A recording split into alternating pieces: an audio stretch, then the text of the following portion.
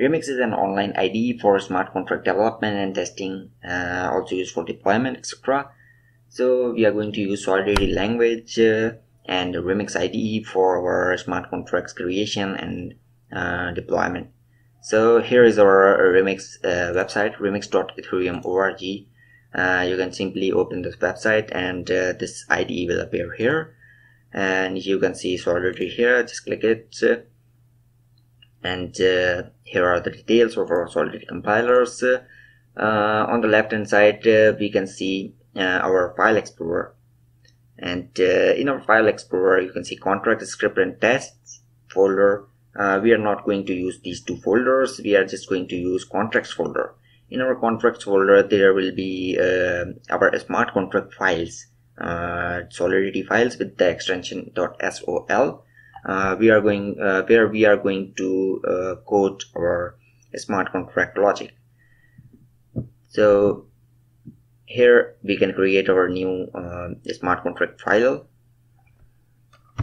Uh, we can name it uh, anything and test dot sol it will create a file blank file. The next step is for our solidity compiler details that we have just seen. Uh, here is our compiler uh, details that is currently selected and uh, we can choose uh, from a uh, different list of compilers that are uh, previous or the latest one. And the language is of course solidity that we are going to use compiler default and no we are going, not going to use auto compile. Yep check this post box uh, enable optimization and uh, leave it to 200 uh, this is used for optimizing the bytecode from generated uh, after compiling the smart contract. So we are done uh, here on this tab. And let's move to the next one deploy and run transactions tab. And uh, here as you can see environment for uh, our local deployment uh, on Remix IDE, we are going to use JavaScript VM uh, environment. Leave it as is it. And uh, here is our account list. Remix uh, generates a pre-filled list of accounts with some test ether. as you can see, 100 ether each account so we can use these accounts to interact with our smart contracts uh, and pay transaction fees and ether etc okay and now let's uh, start the development of our smart contract head towards files tab and open test sol file that we recently created or you can also create a new file from here. And uh, the first thing in our smart contract will be uh, the compiler version that we will define like this pragma solidity and uh, this will tell that uh, the compiler should be greater than or equal to 0.7 and less than 0.9 the other thing we will define is the contract itself and the name of the contract using the contract keyword and the name. After that here will go the body of the contract. And uh, first we will uh, define the contract constructor like this and uh, yep the constructor of the contract is executed whenever the smart contract is deployed on the blockchain.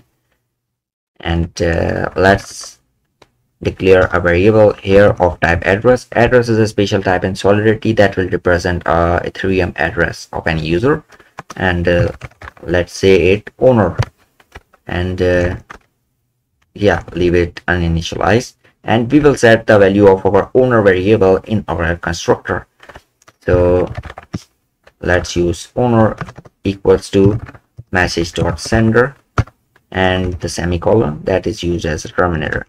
So message dot sender contains the value of the uh, address and that is calling the transaction. Or yeah, like uh, in the constructor the one who is uh, deploying the smart contract. So our initial uh, owner will be the deployer of the contract. Okay so now let's uh, declare some functions to get and set the values of uh, the owner. Firstly we will create a function get owner and uh, here we can define any uh, parameters like this and name and uh, after that we have to define the visibility of the function. Like public uh, or private public functions are the one that can be called from within the contract or from outside of the contract like from web3.js in our decentralized applications. Okay and after that we can uh, define the type of the function if you want to. Uh, like view uh, the view functions are the one that only read the uh, state of the blockchain like data from the blockchain uh, but does not modify any data in the blockchain.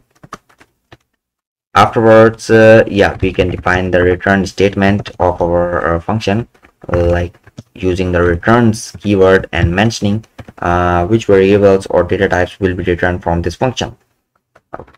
We will need address data type. Okay and here will go the function's body. In here we will simply return the owner of our smart contract okay good. Now let's create a function to set or uh, update the ownership of uh, uh, yeah ownership variable. Here we cannot use view because we have to update the state uh, variable of the contract. And uh, we don't have to return anything. Looks good.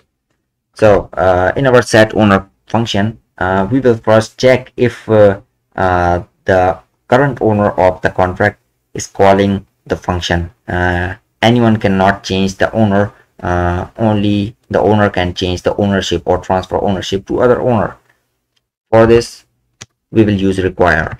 Require is like conditional statement if else conditional statements. Uh, in here we will define the condition. And firstly uh, we will need new owner parameter here okay and uh, we will check if new owner is equals to oops not new owner current owner is equals to message dot sender. Again message dot sender will contain uh, the address of user who is calling the set owner function. And uh, if this condition is true uh, then the next lines that are written here will be executed otherwise this uh, will be reverted from here. And we can also show some message here on uh, when the transaction is reverted and the condition is not met like not authorized. Okay? And uh, now we will transfer the ownership or set the current owner to the new owner like this. Great now let's uh, add one more thing here. Uh, the event. Events are uh, like a logging functionality in ethereum virtual machine or smart contracts and can be declared by using uh, event keyword like this and then the event name. Let's call it uh, owner changed. And uh, it also takes some parameters if you want to like address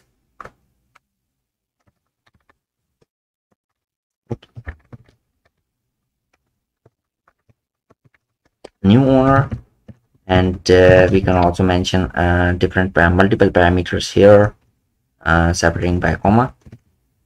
Uh, let's say current owner that has transferred the ownership. Okay and uh, we can simply call our owner changed event in here like this by using the emit keyword. And uh, providing the values of parameters so a new owner we will give or here and owner will go here.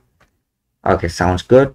And uh, now we have created our contract. Let's compile it by going in the compilation tab here from s and click compile test.sol uh, or simply you can use control plus s to compile the contract. If there is any error uh, it will be shown here uh, like this or if it's compiled successfully no error will be shown then we can go to our deploy tab right uh, after the compilation tab here.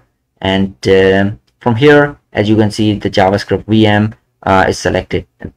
Uh, that is the default environment for testing in our remix ide and the javascript vm is uh, you can consider it like um, a blockchain running on the browser uh, that Remix provided for testing our smart contracts.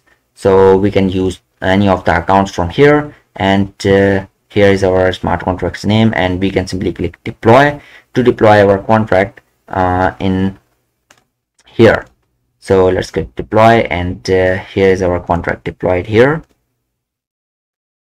and here are the functions that we have created here. So we can uh, call our functions by just clicking here get owner click the function. So here is our current owner uh, that is the deployer of the contract here.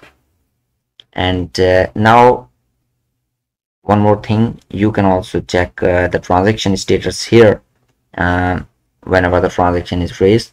So let's call the set owner function from here. You can copy the address and change the uh, caller address from here. Uh, now this second address is used to call the uh, function. And paste the address here. So now we are uh, changing our owner to this address. But uh, instead of using the current owner's address we are using some other address uh, to call the function uh, so this should throw the error here. So let's call the function set owner and uh, here as you can see uh, the transaction is reverted and not authorized message is shown here. Okay so now let's call the function from our uh, current owner of the contract and uh, provide the other address to change ownership to. Here you can see the contract function is successfully called and uh, here are some details that you can see from the transaction. Uh, from address to address and some gas etc and in the logs section we can see uh, our events. Owner changed event and uh, the values from here. New owner and current owner. So uh, this is how uh, our smart contracts works and uh, we have learned how to write, deploy, and test smart contracts on Remix IDE. If you want to learn and uh, go deeper uh, in the Solidity, there is also a full Ethereum blockchain course link in the description, and uh, you can also subscribe to the channel uh, to get uh, more upcoming programming videos. thank you for watching. Take care.